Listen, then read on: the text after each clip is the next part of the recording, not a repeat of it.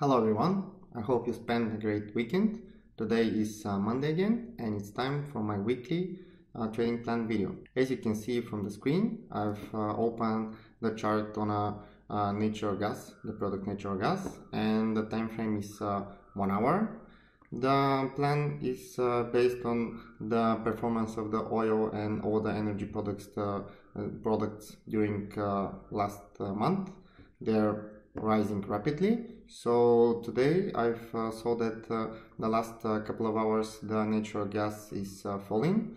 So I had an idea that uh, probably we can take it as a buying opportunity. So the trading plan is as follows. For the most aggressive buyers, you can start um, uh, getting into a position even uh, from here, where's the current price of the natural gas is 2.809 and uh, yeah the, my idea is the trade to look something uh, like uh, this. If you buy it from here it either can rise uh, rapidly to the target or it could make something like a correction and to reach it like this. This is going to be the perfect case scenario and I hope it will develop in just uh, several days. The another uh, idea that I have for the more uh, for the more uh, defensive uh, buyers, you can wait for further development of the price, and if the falling continues, and reaches the area here, the buy zone here is uh, a lot more uh, tested and here is actually the support level is uh, stronger. So you can expect that uh, if the price uh, reaches here you can play it with a tighter stop loss with a less chance to hit it.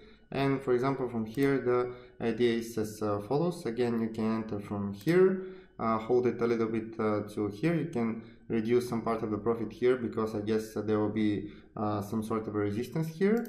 And then you can hold the other part uh, till it uh, reaches the main target around uh, the levels above 2.850 um, and yeah pretty much uh, there was the uh, quick plan that I'm going to that I share with you on the nature gas don't forget to follow us in uh, Twitter because there I'm going to post a live sign on this trade and as well in Facebook and our YouTube uh, channel because uh, there we are posting uh, a, lo a, lot of uh, different and educational videos and articles as well. Thank you very much for watching. Have a nice profitable weeks and till next time.